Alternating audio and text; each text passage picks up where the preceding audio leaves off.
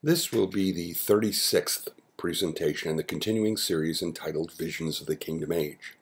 This presentation will address that subtle divine timestamp of delivering the prophet Ezekiel's second cherubim vision exactly 420 days after the first, and how this projects the second immortalization in the Creator's plan at the beginning of the millennial kingdom. In our previous class, we began to consider the prophet Ezekiel's three cherubim visions. we observed the three very particular time stamps for these visions and identified those three visions with the three immortalization events in the Creator's plan. Let's continue these vision timestamp considerations. Ezekiel's first vision is experienced physically by the river Chebar while in Babylonian captivity. This is defined as the 30th year, the fourth month, and the fifth day, but cross referenced as being the fifth year of King Jehoiakim's captivity. This would be the fifth year from Judah's first deportation to Babylon. The second deportation, following the rebellion of King Zedekiah, was still many years away.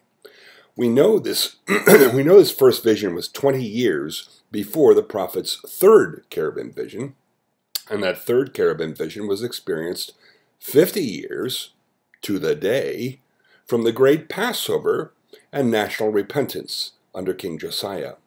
Therefore, there are a couple possibilities to be considered as to why God would offer this 30th year timestamp for Ezekiel's first cherubim vision. First, it would be uh, 30 years from that same point of reference of that great national repentance and Passover uh, under King Josiah. But the significance of the 30th year throughout our Heavenly Father's written testimony does emphasize a spiritual and physical maturity that assigns a level of responsibility. The priests and the Levites during the first kingdom age would serve beginning at the age of 30 and continue for 20 years, which of course was the time frame for between Ezekiel's first and last cherubim visions. Therefore, it would be an interesting parallel in understanding how Ezekiel may have been personally 30 years old at that first cherubim vision, and it would be 20 years to his third and last vision, and the conclusion of his prophetic assignment. We read in Numbers chapter 4 of this 30 year assignment, uh, starting in verse 2 Take the sum of the sons of Kohath from among the sons of Levi, after their families and by the house of their fathers, from 30 years old and upward, even until 50 years old, all that enter into the host to do the work in the tabernacle of the congregation. This shall be the service of the sons of Kohath in the tabernacle of the congregation among the most holy things. The priests came from the Levite division of the Kohathites. Additionally, God states that anyone serving the tabernacle would begin at 30 years old.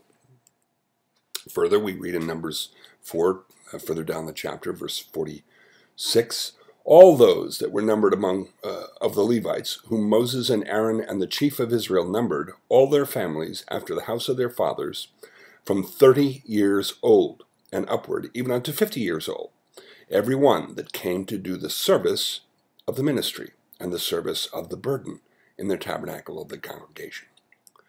This 30th year service appointment parallels the experience of Joseph, who was 30 when he was raised out of prison and exalted to the second highest political office, to glory, and to wealth and privilege. Joseph died at 110 years old, 80 years after his appointment as Pharaoh's second in command. King David began to reign when he was 30 years old, after the death of Saul and Jonathan, reigning for a total of 40 years.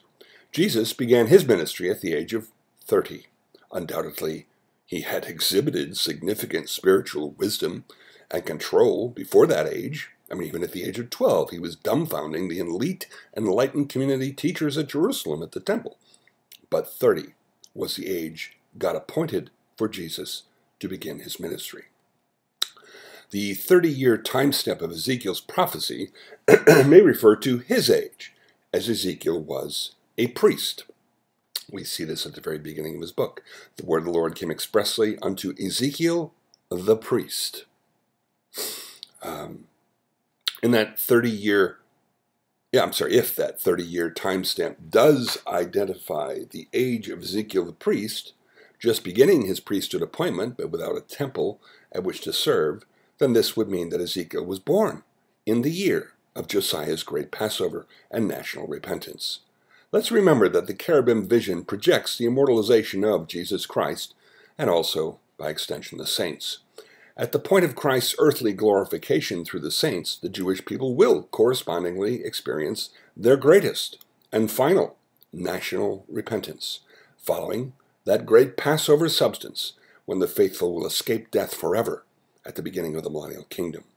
Additionally, the immortalized faithful will begin their new priesthood appointment as immortal priests, but they, hopefully, we will not serve only 20 years, but for a thousand years, as we read in Revelation 20.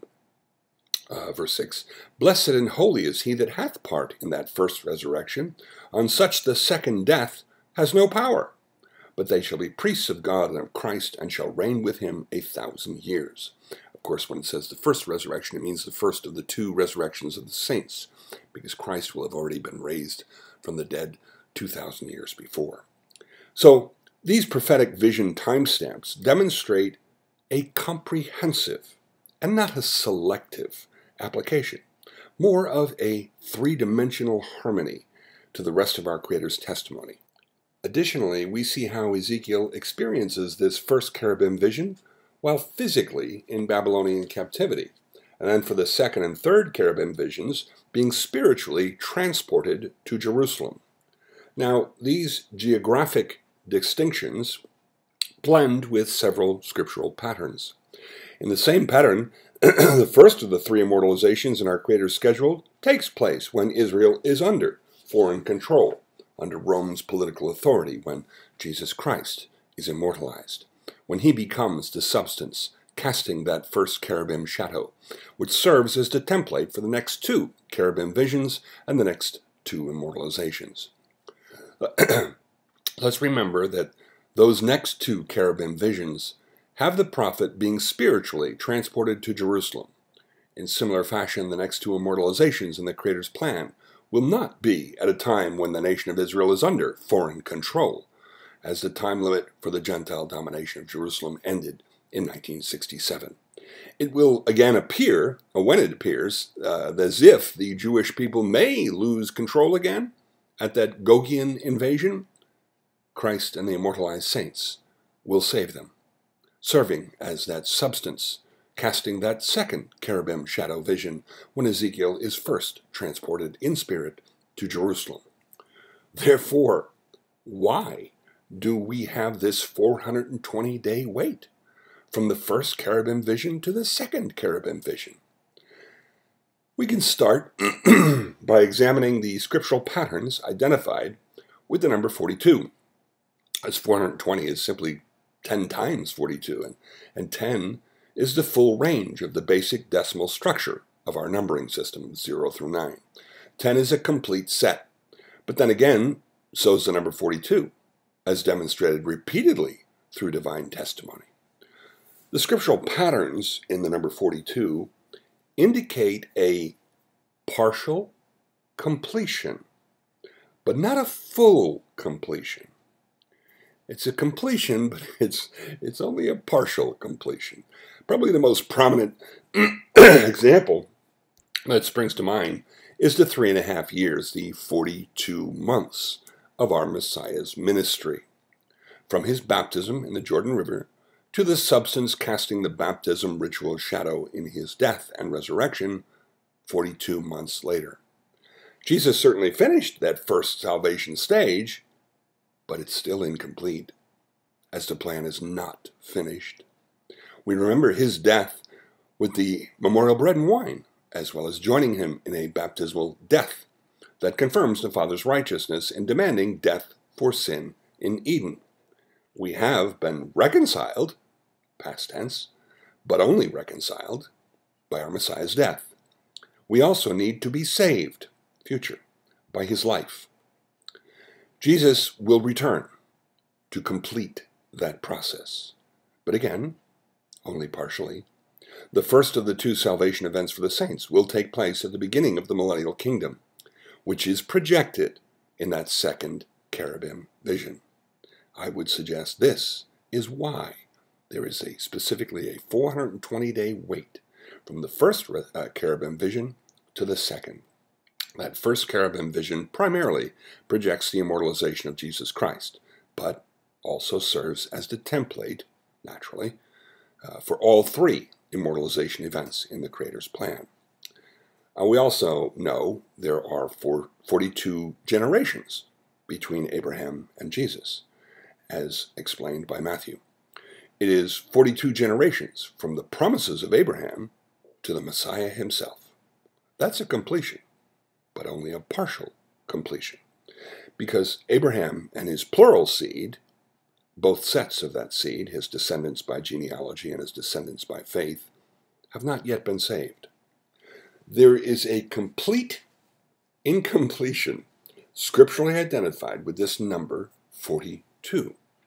It's, it's fairly easy to clearly identify the second cherubim vision with the second immortalization event in the Creator's plan for several reasons. Uh, the first reason we already covered in the previous presentation, highlighting how Ezekiel witnesses the destruction of Jerusalem by the six that came, come from the north just before he witnesses the cherubim again. This perfectly parallels how the immortalized Christ and the saints will be seen on the Mount of Olives to save Jerusalem from the Gogian gang of six from the north that will be butchering the Jewish people, as described in Ezekiel 38, 39, and also in Zechariah chapters 12 through 14. It's highly appropriate that the end of that uh, that at the end of that second cherubim vision described at the end of chapter 11 sees the cherubim settle on the mount to the east of the city, which can only mean the Mount of Olives. The vision waits at the Mount of Olives for that time when the substance casting that shadow prophecy is to be revealed in that exact same location. Now, the time frame for these first and second cherubim visions is defined as 420 days. Another uh, identification of that second cherubim vision with the second immortalization event is the cry, O wheel, reported by Ezekiel in chapter, chapter 10. Now, the Hebrew word is Galgal, from which the name Gilgal is derived, referring to that first encampment of the enlightened community in the Promised Land under Joshua's leadership. God named that place Gilgal, meaning to roll, because the reproach of Israel had been rolled away due to that first circumcision in the Promised Land after an absence of 40 years without circumcising. We read in Joshua chapter 5, beginning at verse 8. And it came to pass when they had done circumcising all the people that they abode in their places in the camp till they were whole. And the Lord said unto Joshua, This day have I rolled away the reproach of Egypt from off you. Wherefore the name of the place is called Gilgal unto this day. And the children of Israel encamped in Gilgal and kept the Passover on the fourteenth day of the month at even in the plains of Jericho. Therefore, since there is a powerful reference to the rolling away of reproach emphasized in the second cherubim vision, this is a further validation for understanding that second cherubim vision to have an application to the second immortalization and not the first. The only negative aspect of our Messiah was that he was born with the same sin cursed nature as ourselves. But that assigns no level of guilt whatsoever, just a necessary cleansing. We are the ones that hope to have the reproach of our transgressional sins rolled away when the flesh nature is cut away, circumcised, in the immortalization process at the beginning of the millennial kingdom. Therefore, the cry, O wheel, would be appropriate in the context of the immortalization of the saints, but not the immortalization of the Savior, as shadowed in that first cherubim vision. Additionally, that first encampment in the promised land, where the reproach of the enlightened community was rolled away, happens to be the 42nd encampment since leaving Egypt. There were exactly 42 encampments of the enlightened community between leaving the leaving of their Egyptian slavery to the first encampment in the promised land at Gilgal. Those 40 years from the first circumcision in Egypt and that first Passover under Moses to the next circumcision and that Passover in the promised land under Joshua is a prophetic snapshot of the time between our Messiah's death and resurrection and the substance casting that second circumcision and Passover in the second immortalization event, when the saints will be saved at the beginning of the millennial kingdom under the greater Joshua, Jesus, which is, of course, the Greek version of the Hebrew name Joshua. Therefore, the 42 encampments between the first and second national circumcisions, those Passovers, can be directly paralleled to the 420 days between the first cherubim vision and the second. This also fits the understanding of being only a partial completion. yes, Israel entered the promised land, but that kingdom was only the first kingdom age.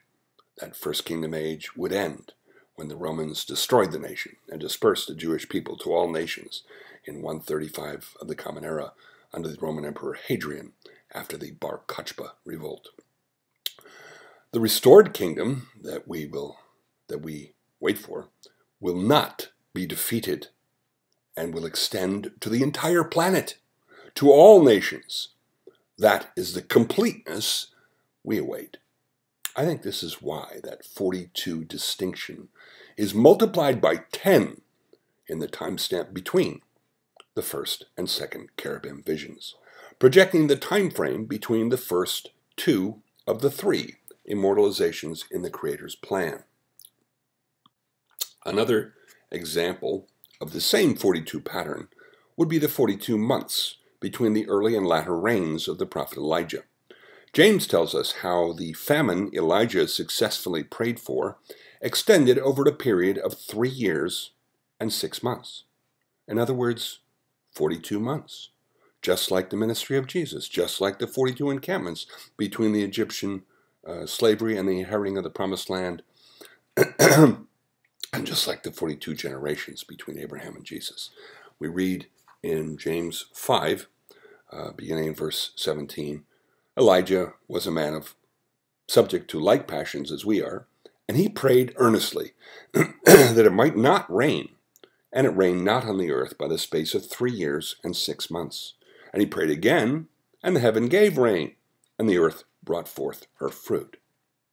Now let's put this in the context of what James said a few verses earlier about how the early and latter rains define the first and second comings of Jesus Christ. In verse 7 of the same chapter, James advises us, and I'll quote it Be patient, therefore, brethren, unto the coming of the Lord.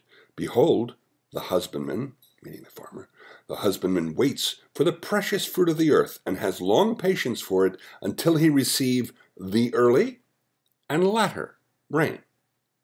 So James identifies the return of Jesus Christ to the arrival of the latter rains that brings the blessing of extreme agricultural bounty. This is exactly how the second immortalization in the Creator's plan is referenced in Hosea's chapter, a prophecy in chapter 3. After Hosea prophesies of that promised healing, reviving, and raising up after two days, meaning two divine days, 2,000 years, he confirms this understanding of the timing between the first and second immortalization events as receiving the latter rains. We read in Hosea 6, and let's just read uh, verse 3 uh, for, that, for our emphasis. Then shall we know, if we follow on to know the Lord, his going forth is prepared as the morning, and he shall come to us unto us as the rain, as the latter and former rain unto the earth. Jesus, of course, is the He that represents Yahweh in this prophecy, Emmanuel. Uh, he will come to us twice. The first time he will come will be as the early rain was as the early rain, that planting rain. He will come again as the latter rain, the harvest rain. Therefore, the 42 months between the early rain that stopped because Elijah prayed and the latter rain, when Elijah prayed again for the rains to come, is a prophetic shadow, time stamp, indicating the time between the two comings of our Messiah, between those two immortalizations, between those two cherubim visions with that 420 day separation. Another continuation of this same understanding, uh, some depth to this uh, observation, is the matching prophecies of Yahweh's self imposed silence that would be like a drought of the Word of God. Uh, the mistake is often made in rather oddly presuming the time of God's silence prophesied in Amos and Micah somehow applies to the time between the Old and New Testaments, between Malachi and Matthew. That is an impossible understanding as we are told exactly when that self imposed divine silence will end. And it will be at the introduction of the millennial kingdom, at the return of Christ, at the time when those latter rains, James and Hosea uh, tells us about, and Elijah shadow prophesies, when that prophetic image of 42 and 420 is fulfilled. Amos defines this period of self imposed divine silence as being a period of no rain, a drought of the Word of God. Therefore, similar to the 42 months of drought between Elijah's prayers to stop the rain and then begin the rain again. We read of this uh, prophecy in Amos in chapter 8, beginning at verse 11. Behold, the days come, saith the Lord God, that I will send a famine in the land, not a famine of bread, nor a thirst for water, but of hearing the words of the Lord. And they shall wander from sea to sea, and from the north even to the east. And they shall run to and fro to seek the word of the Lord, and shall not find it. In that day shall the fair virgins and young men faint for thirst. We know exactly when this drought of the Word of God will end, as we are given that answer by Isaiah. We're still currently within that period of divine silence. We certainly have no prophets and no new revelations of God's Word, not since the Holy Spirit gifts ended after the death of that second generation, which was the chronological limit for the gifts, uh, for the promise of the Holy Spirit gifts. This ending of the Holy Spirit gifts of miracles coincided with the last book of the New Testament being completed by John, the book of Revelation. This is exactly what Paul prophesied to the Corinthians that the miraculous gifts of the Holy Spirit would end when that which was perfect, or complete, or mature, would come, meaning when the Word of God, the Bible, was finished. There would be no need for miraculous Holy Spirit gifts any longer. Something greater would replace the Spirit gifts in their educational purpose. This is when the period of divine silence began. The rains, the word of God from heaven stopped. That heavenly drought between the early and latter rains began at this point. This is very easy to conclusively prove. prove. Uh, Isaiah tells us exactly when the time of Yahweh's silence will end in the kingdom prophecy in chapter 42. We read in Isaiah 42, starting at verse 13, in the context of a very obvious uh, millennial kingdom prophecy. Uh, it says, The Lord shall go forth as a mighty man. He shall stir up jealousy like a man of war. He shall cry, yea, roar. He shall prevail against his enemies. I have long time holden my peace. I have been still and refrained myself. Now will I cry like a travailing woman. I will destroy and devour at once. Again, uh, Isaiah 42 is a very, very obvious prophecy of the restoration of the kingdom of God.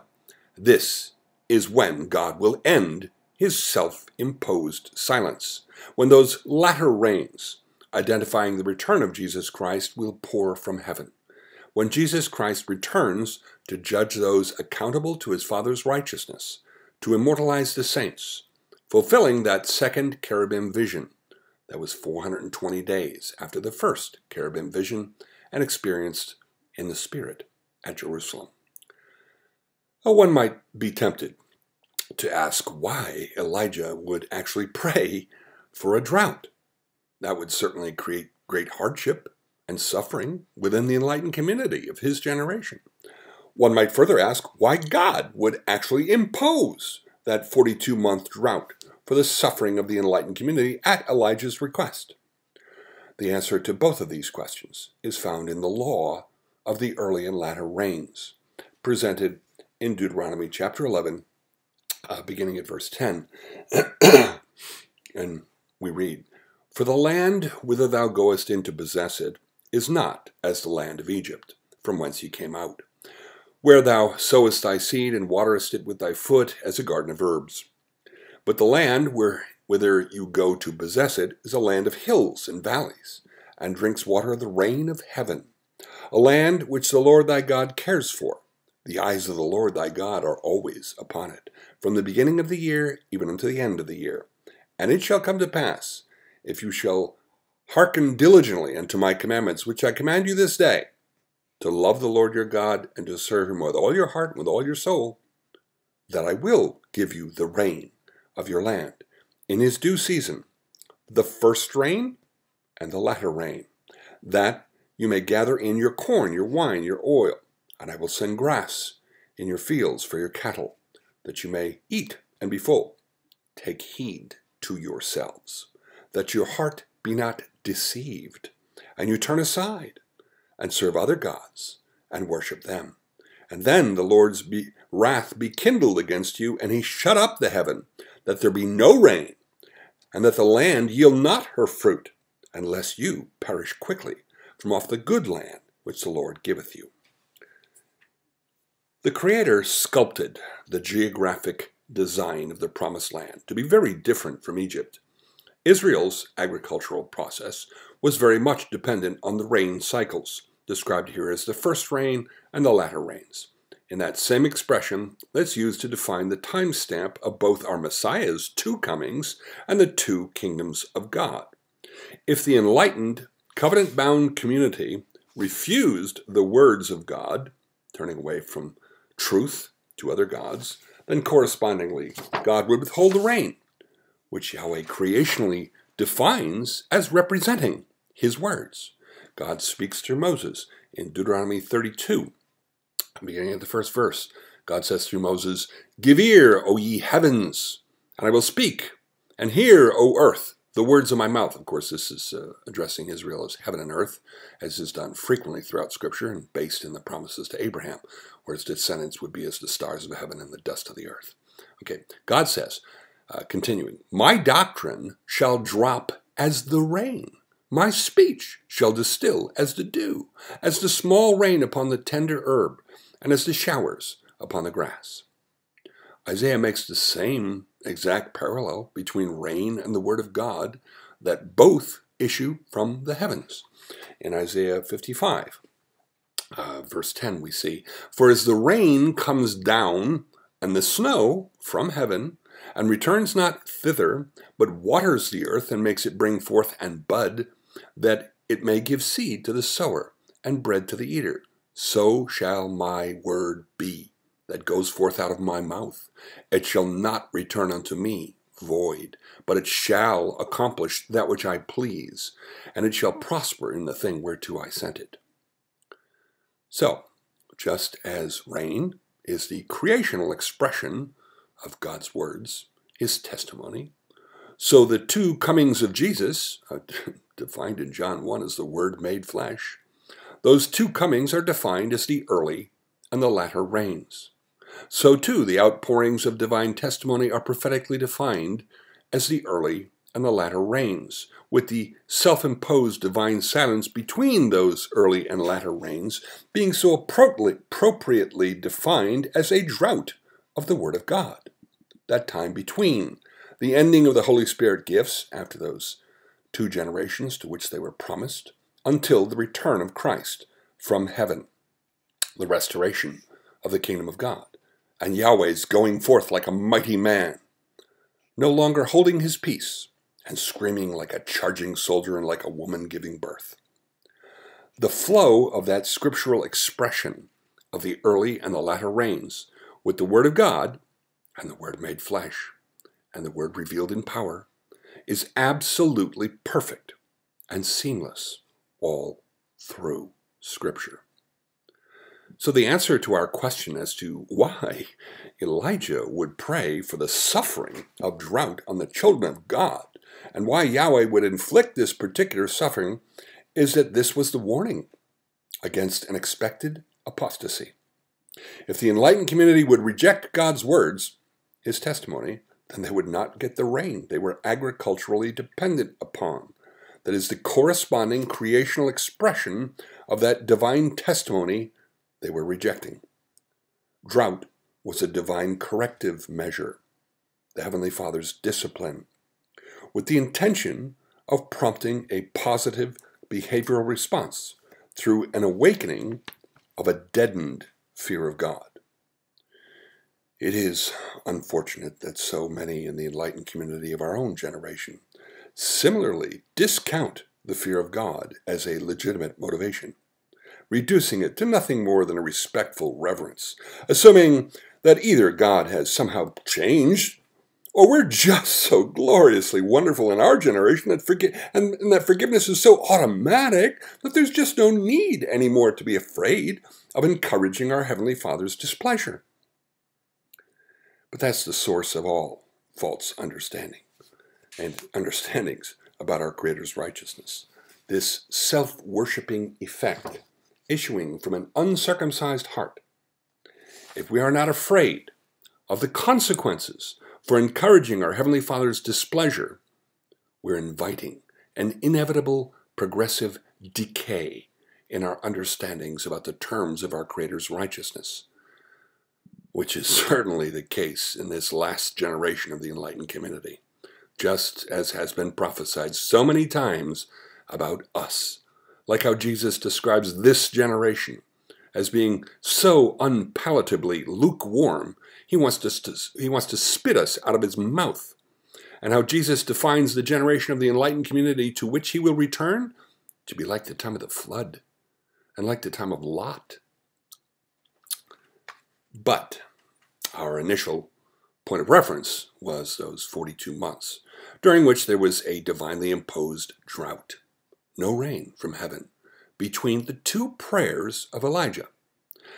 Now let's further emphasize this significance of this 42 month drought in relation to the prophesied drought like divine silence between the ending of the Holy Spirit gifts and the return of Jesus Christ and the introduction of the millennial kingdom. We're told Elijah will personally play a significant role in the restoration of the kingdom of God when those latter rains are scheduled. The very last words of the Old Testament prophesy of Elijah's role.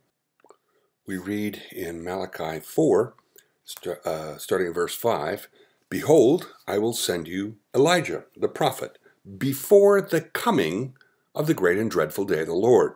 And he shall turn the heart of the fathers to the children, and the heart of the children to their fathers Jesus responds to his disciples' question about Elijah's preparatory assignment after they witnessed the transfiguration vision, uh, including Elijah with Moses and Jesus. We read this in Matthew 17, starting in verse 10. And his disciples asked him, saying, Why then say the scribes that Elijah must first come?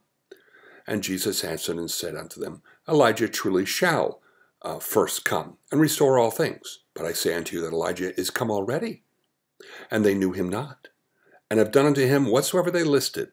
Likewise shall also the Son of Man suffer of them. Then the disciples understood that he spake unto them of John the Baptist. Just as Elijah's 42 months of prayer induced drought highlights that dual aspect of the rain, the early and the latter rains. There's a dual application of this last prophecy, this latter rain prophecy about Elijah.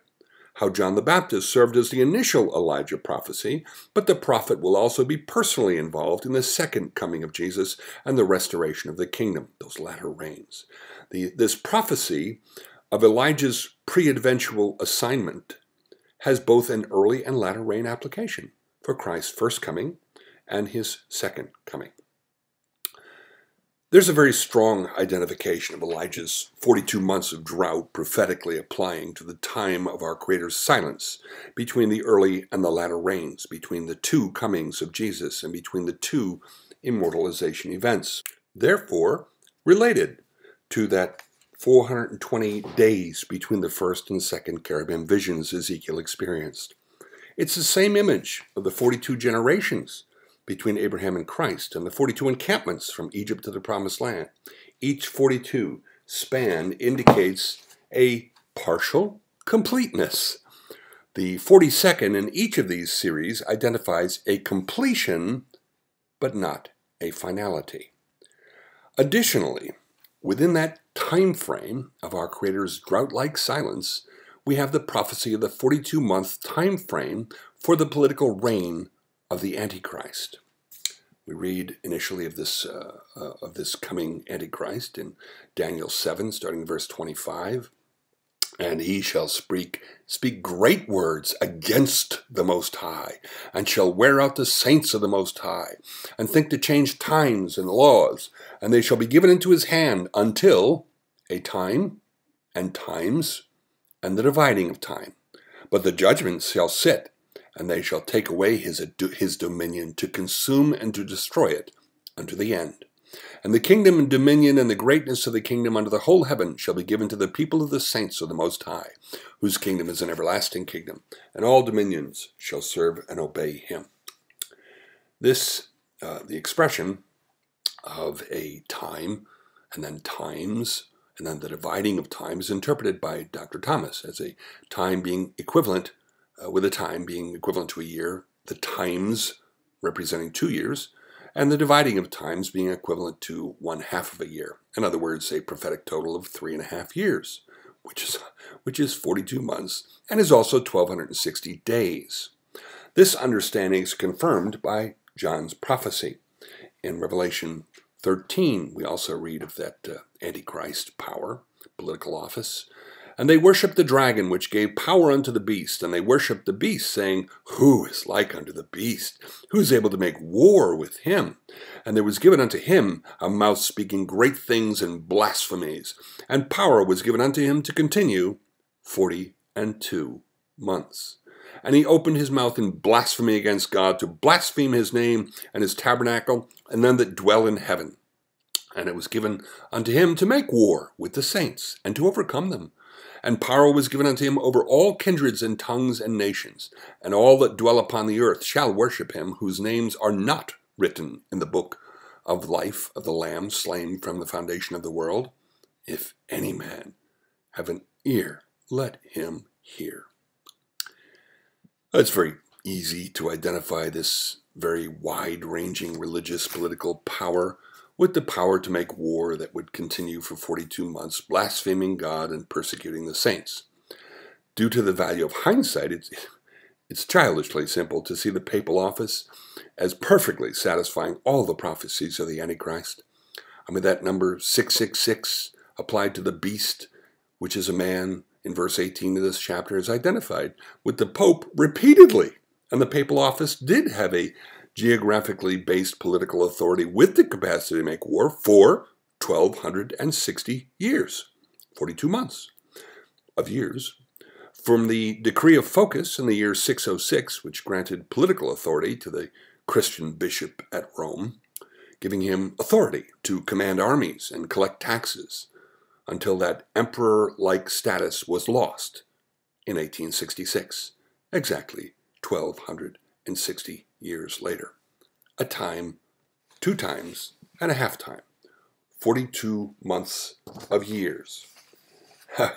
In response to this humiliation, uh, this loss of emperor like status and the capacity to collect taxes and impose the papal will through making war, we see the papal declaration of infallibility being publicly proclaimed on July 18, 1870.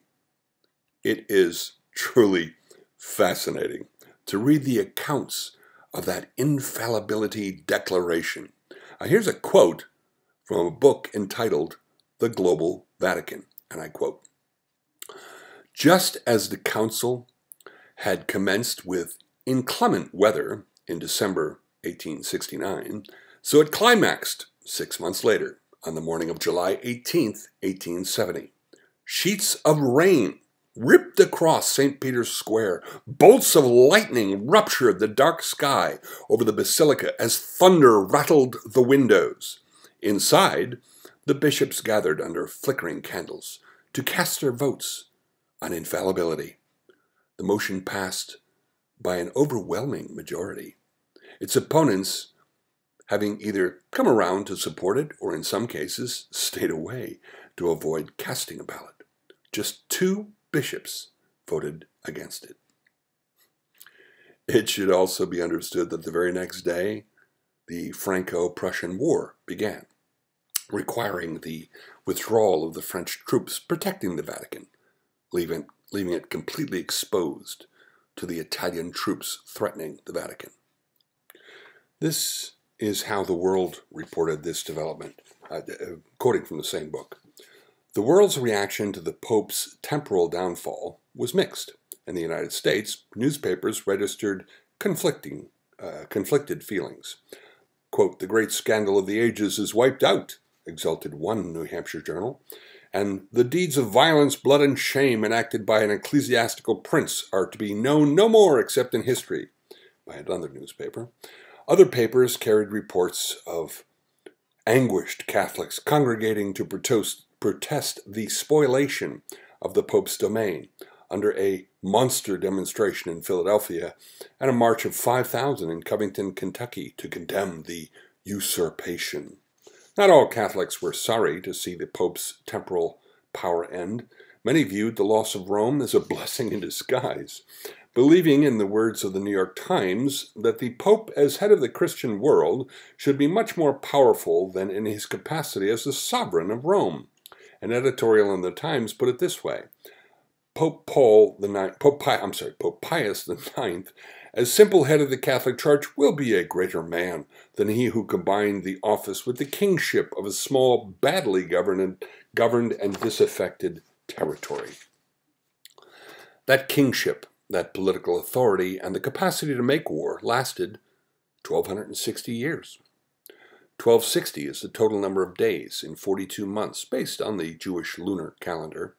Using the divinely provided prophetic tool of assigning a year for a day, as God told Ezekiel to do, we can see why the Antichrist papal office was limited to exactly 1260 years, within that period of our Creator's self imposed silence, those 42 months of drought between the early and the latter rains. So we have this pattern of 42, representing a full maturity from beginning to end for a particular maturing process, but not a finality. This is even true of the 1260 year limit of the Antichrist political authority.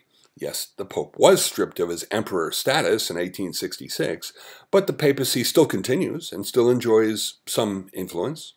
There was a minimal restoration of papal land, uh, Vatican City, that was supplied by the fascist Mussolini, World War II, just before World War II, in exchange for the papacy supporting that fascist rise to power in Italy. I mean, similarly, the papacy openly supported the Nazis in Germany before and during World War II. But we'll see the Antichrist's office again uh, this office of the papacy active again in the opposition of Jesus Christ when he returns to ascend the throne of his ancestor King David at Jerusalem. Therefore, that limit of 42 months for the Antichrist political and military power that runs between the first and second immortalization events also satisfies the understanding of a completion, but a somewhat incomplete completion, like that half week uh, ministry of our Messiah, those three and a half years, those 42 months. So God uses this number 42 in the same context in several applications, including those 10 sets of 42 days running between the Ezekiel's first and second cherubim visions, projecting the first and second immortalizations in our Creator's plan. I expect the fact that there are 10 times 42 in this 420 differential between the two immortalization shadow visions of Ezekiel would be an emphasis tool. Not just 42 days, but 10 times 42 days.